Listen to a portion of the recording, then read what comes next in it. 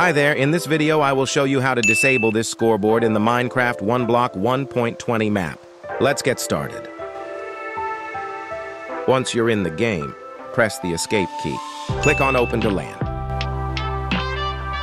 Here, set the game mode to survival and allow cheats to on. Once that's done, click on start LAN world.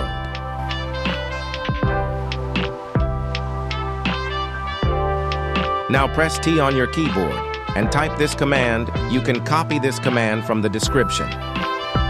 After typing the command, hit enter and the scoreboard will disappear. As you can see, it works, but you will have to do it again when you rejoin the world. Simply follow the steps and enjoy your game.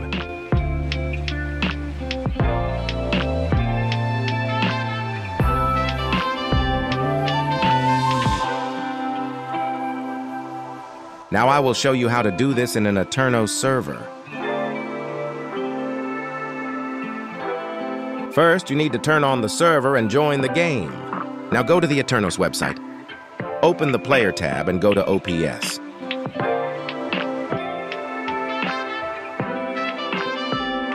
Here in this rectangle bar, you need to type your Minecraft name and click on the Add button.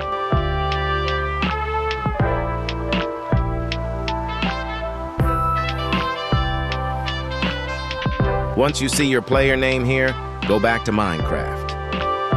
Now in Minecraft, all you need to do is press T on your keyboard and type this command and press enter. And as you can see, it works. But in a server, things are a bit different. So when you turn off the server and turn it back on, the scoreboard will be back. So you will have to type the command again, and you only need to type the command. You don't need to do the OPS thing again and again. Well, anyway, I hope this video is helpful, and you solved your issue. If you need any help from me, then you can comment down below, or join my Discord server. Me and the members of my server will try to help you fix your issue. And if you have video suggestions, then let me know in the comments below. Please leave a like and consider subscribing to the channel. We're very close to reaching 1,500 subscribers.